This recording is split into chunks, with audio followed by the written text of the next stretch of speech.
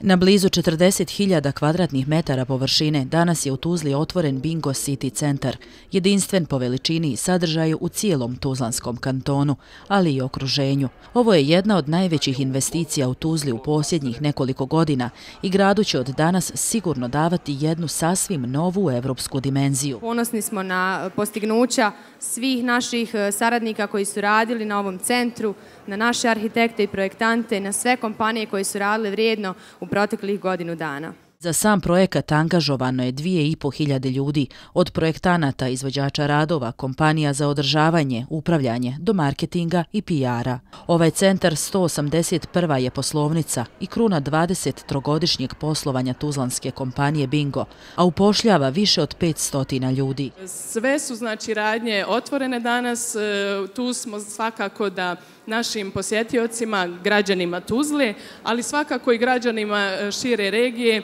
e, pored dobrog šopinga pripremimo i priredimo dobru zabavu. Bingo City Center u svom sastavu ima Bingo hipermarket površine 6000 metara kvadratnih, Bingo restoran sa igronicom i ljetnom baštom, kuglanu, Sinestar kino sa pet kino dvorana te prodajne objekte najpopularnijih evropskih i svjetskih brendova. Veliki korak za razvoj lokalne ekonomije, ali i regionalne, i veliki korak u poboljšanju kvaliteta života građana Tuzle i svih oni koji u Tuzlu dođu, a dobro su nam došli svi.